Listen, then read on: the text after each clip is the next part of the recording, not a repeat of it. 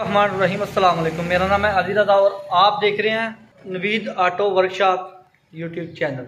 आज हम आपको जो पाँच सबसे बड़ी गलतियाँ बताने वाले हैं, हेड सिलेंडर की इंजीनियर वर्कर्स के हवाले से, ये चेक करें वाल जो गाड़ी के हेड के वाल होते हैं। तो इनमें मसला क्या है कि जब आप इसकी फ़िटिंग करवाते हैं तो ये चेक करें। तो अभी हमने एक वाल लूज़ रहा है और एक टाइट। ये क्यों? ये सिर्फ़ वीडियो के लिए, इंशाल्लाह इसको बाद में ओके कर देंगे। अच्छा ये वाल टाइट है, लेकिन इसमें प्ले नहीं है। एक ज़रा सी भी प्ले नहीं है। अच्छा दूसरा बाल ये चेक करें, ये छोटा बाल है, और ये लूज़ है। ये आप चेक करें, ये चेक करें। ये लूज़ है, ये खुद ही वर्किंग कर रहा है। अच्छा खुद ही वर्किंग कर रहा है तो इसमें इतना मसला तो नहीं है कि ये कभी भी आपकी गाड़ी को प्रॉब्लम करेगा, क्योंकि इसकी प्ले इसमें नहीं है।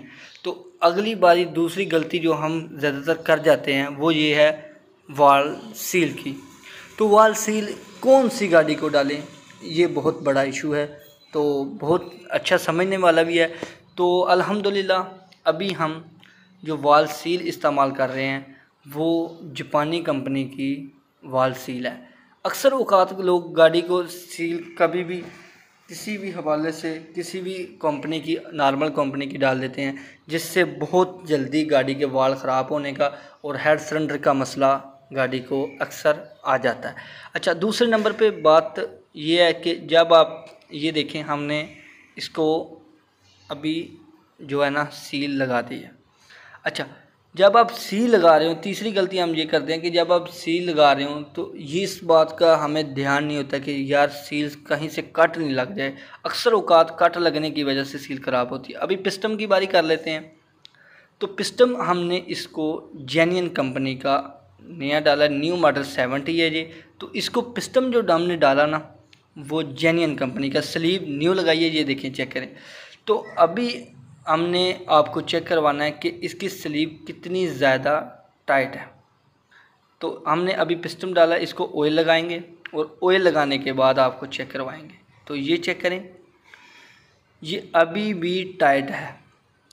तो हमने इसको क्या करना है कि अभी इतना टाइट चलाना नहीं है। क्यों? क्योंकि अगर आप इसको इतना टाइट पिस्टम को गाड़ी को बंद कर देंगे तो स्टार्ट तो होगी, लेकिन हीट होगी गाड़ी। हीट होने की वजह से स्लीव बहुत जल्दी जो है ना, ख़राब हो जाती है, जिसकी वजह से गाड़ी बहुत जल्दी तकरीबन छः महीने निकाल निकाल के ना, वो धुआँ निकाल लेती है। इंजन का काम निकाल लेती है। अच्छा सबसे पहले जो हमने इसमें बात करनी थी, वो है ये है चौथी गलती हमारी कि पिस्टन सिलेंडर के अंदर जो है ना, बिल्कुल टाइट होना चाहिए, ढीला नहीं होना चाहिए। आगे बारी आ जाती है। इतना टाइट भी नहीं होना चाहिए कि गाड़ी हीट हो, लेकिन उसमें प्ले ज़रा सी भी नहीं होनी चाहिए। अच्छा ये रिंग किस मकसद के लिए इस्तेमाल होते हैं? सबसे बड़ा इशू है ये।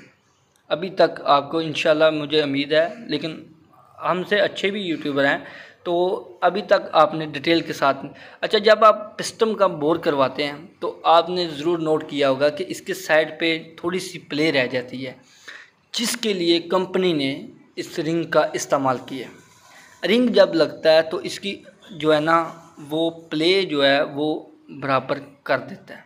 अगर रिंग ना हो तो पिस्टम तो अब तो इलम ही है कि थोड़े से भी रिंग डाउन हो तो पिस्टम चलता नहीं।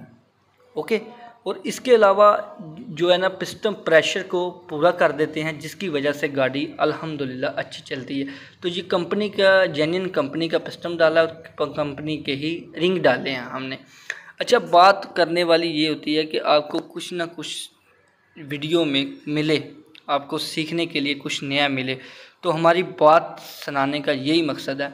अच्छा सबसे पांचवी गलती एंड वाली गलती जो है ना, जो हम कर जाते हैं और इंजीनियर वर्कर से भी हो जाती है कि रिंग का टैमिक ओके नहीं होता। तो रिंग के टैमिक के वाले से हमारी वीडियो अपलोड